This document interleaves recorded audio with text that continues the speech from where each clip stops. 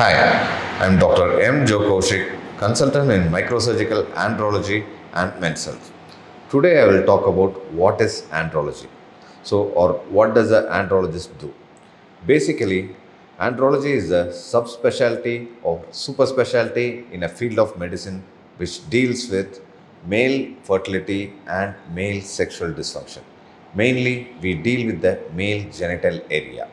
So, in case of male fertility, what everyone does is they give you some medicines to improve the your sperm count. But it, it do helps. It does help. Out of 10, 5 to 6 patients, the sperm parameters does improve and they will be able to have a successful conception or able to have a successful baby in their life.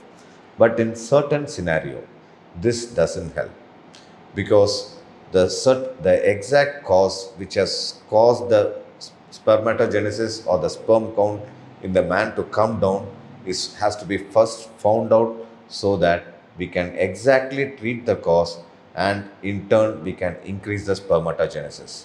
So that's what we do in case of male infertility.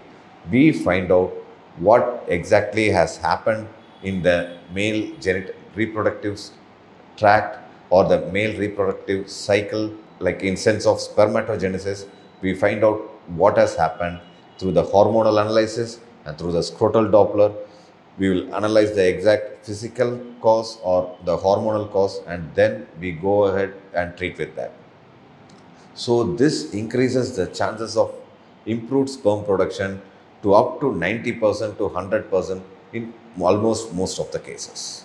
So the next thing is how we can treat a case of azoospermia. Azoospermia is a condition in which there is zero sperm in case of a man's semen.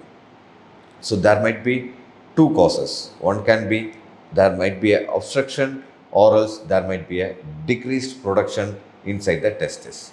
So if there is an obstruction, it can be easily corrected through a microsurgery which we call as microsurgical vasoepididymal anastomosis and which gives a very good results and we, we had got a lot of patients ha- having their own baby following this procedure.